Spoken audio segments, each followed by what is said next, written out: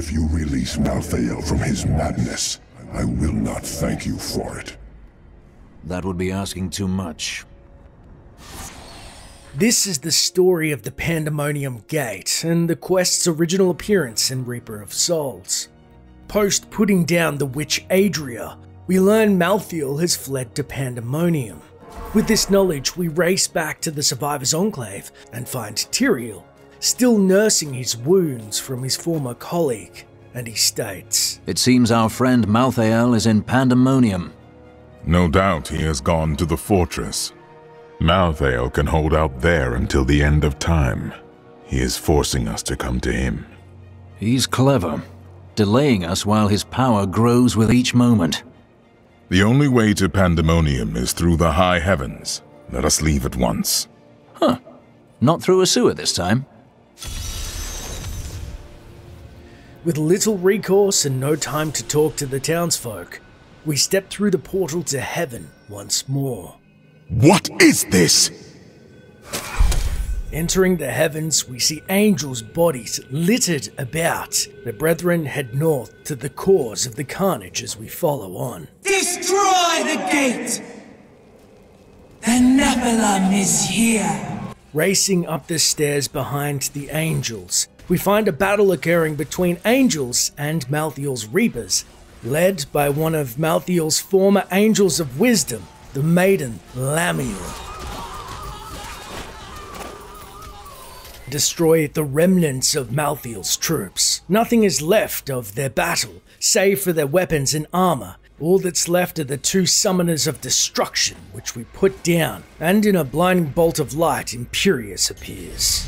He dares to attack us?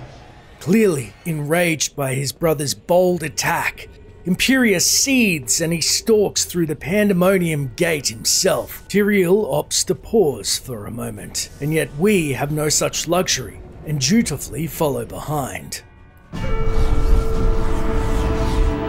Malthael tried to keep me from entering Pandemonium. I must be moving faster than he anticipated. Now, I will cross this wilderness, past the wreckage of countless battles between angel and demon.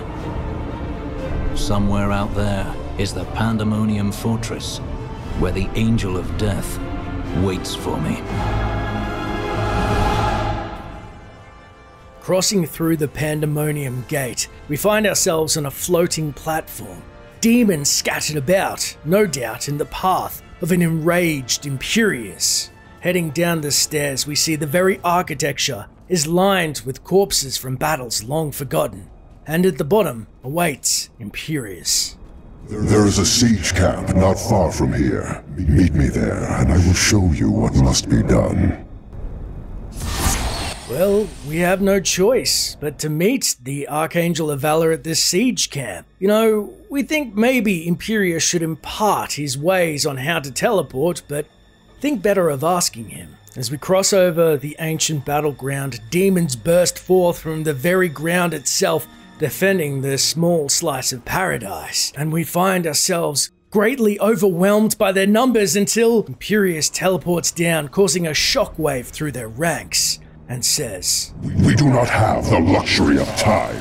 Imperius, with his spear Solarion, effortlessly breaks through the barricade, and we wonder, where was this Imperius when we were battling the Prime Evil? Oof. We are then rushed by some war scarred marauders, bone and sinew barely held together. What a miserable and unending existence these demons have to face in Pandemonium. Just to the east, we see a lone demon manning a Pandemonium siege tower and rip its chains off its hinges as he falls impotently down into the crag below. To the north, we see we are barred in again, as there is a barricade and multiple war scarred ravagers leading their foot soldiers. But this time, their numbers are even greater, and we fear we'll be overwhelmed again, but. Imperius intervenes. Must I do everything for you? We would like to respectfully remind the Archangel that we are doing his work by hunting down Malthael, but it doesn't seem to be a great time. Heading down some stairs to the northwest, we are set upon by the unique Ravager, Belegifor, who seems to be a siege runekeeper and pushes us to the edge of the cliff in an attempt to push us off. We shift into our form Akarat's champion and are still overwhelmed by demons when, once again, Imperius intervenes. That is a siege rune. Bring it with you. We dutifully follow instructions and pick up the siege rune as Imperius destroys the final barricade and disappears once more. As we head down the steps, we see the Pandemonium Fortress in the distance as we enter the abandoned siege camp, finding ourselves a waypoint, and Imperius impatiently waits overlooking the battering ram below.